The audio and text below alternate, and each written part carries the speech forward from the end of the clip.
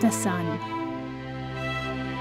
It has shed light on our home for over 4 billion years.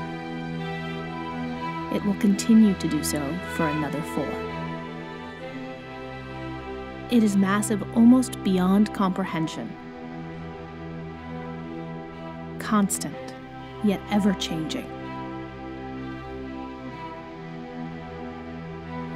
Born from a swirling cloud of dust and gas, it is a giant fusion engine that drives the solar system.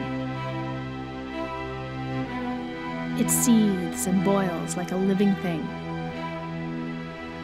Loops of plasma rise up, so large they would dwarf Earth.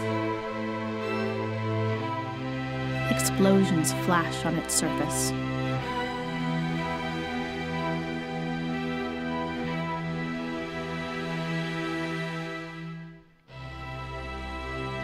And yet the sun also gives us warmth